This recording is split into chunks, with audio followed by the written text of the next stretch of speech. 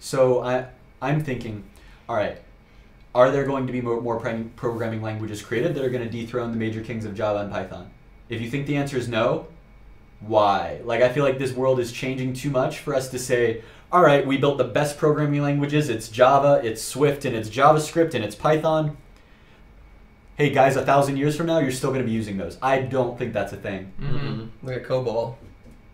COBOL that went in. that was yeah, the that rave, man. Built that on top of rave. Java, yeah. Yeah, I For Android so. developers, No, uh, no, no, no. That's Kotlin. Kotlin. That's what I was thinking. COBOL is like old school, like uh, don't quote me, but like 80s, 90s, definitely at least 90s, like mainframe programming. And people were like, it's like a procedural oriented language. And people are like, this is the, all the rave. This is so good. This is gonna be around for a minute. And now, now you can get paid for being a COBOL programmer. You get paid really well just because you're one of the few people who know it because it's not used anymore. So people who need to maintain legacy systems are just like, Yeah. please, someone needs to help us maintain this code. We're not gonna refa- refactor it all to Java.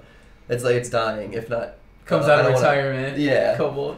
I don't want to call it dead, but Yeah. it's, it's You bring up a good point though. When you're the only, when you're specialized enough that you're the only person doing a task, you get paid more, even if that technology is getting extinct. yeah. Because nobody else is competing against you, you get Supply to and ask for whatever. It's the supply and demand curve, and right now that's where we're at with voice. It's nobody is building voice apps, so when we go and build a voice app, it's what do we want to charge? Because the market will pay that because nobody is developing in the space. Yeah. You went and you're like, wow, I have this friend who's going and doing blockchain, and he has a similar space where nobody's playing it.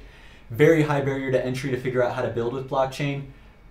Once you Lots do, of though- speculation. It's a big buzzword, but once you do, like, you say I'm a blockchain developer, and companies will pay you hundreds of thousands of dollars because how many blockchain developers are out there? Right. They got. I, I don't know anything about developing for blockchain. Like, I consider myself relatively smart, and I don't. I don't know.